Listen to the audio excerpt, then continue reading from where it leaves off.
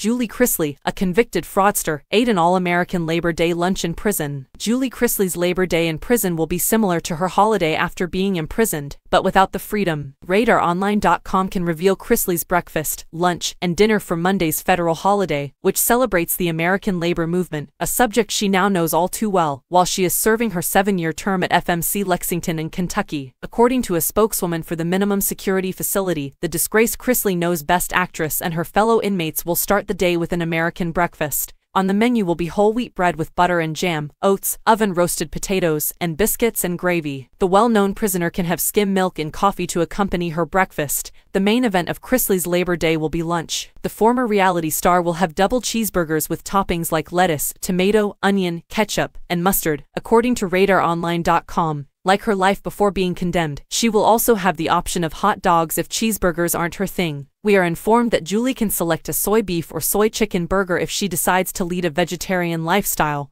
While incarcerated, for dessert, Chrisley will serve holiday cookies. For the prisoners at FMC Lexington, dinner won't be as interesting. We're informed that the evening menu includes chili and cornbread. The choices include whole wheat bread, three bean chili, and steamed rice. According to the information provided by this source, Julie Chrisley and her husband Todd Chrisley were sentenced to prison terms on January 17 after being found guilty of defrauding banks of $30 million and committing tax fraud. While Todd is incarcerated at FPC in Pensacola, Florida, some 600 miles away, Julie is doing her sentence at the Kentucky institution. The Chrisley patriarch received a 12-year sentence after being found guilty of fraud. Julie and Todd will remain in the pen for the foreseeable future, but their family will return to watching television. Chase, 27, Savannah, 26, and Grayson, 17, will once more appear in a new docuseries alongside Todd's grandmother Nanny Faye Chrisley, 79, and their adopted granddaughter Chloe, Kyle and Lindsay, Todd's two oldest children from his first marriage, were not mentioned in the press statement for the new program. The timing was perfect to tell our narrative, and Scout Productions made for the ideal collaborators. I know they're going to find the proper home for this next chapter of our lives because of their unmatched ability to mix empathy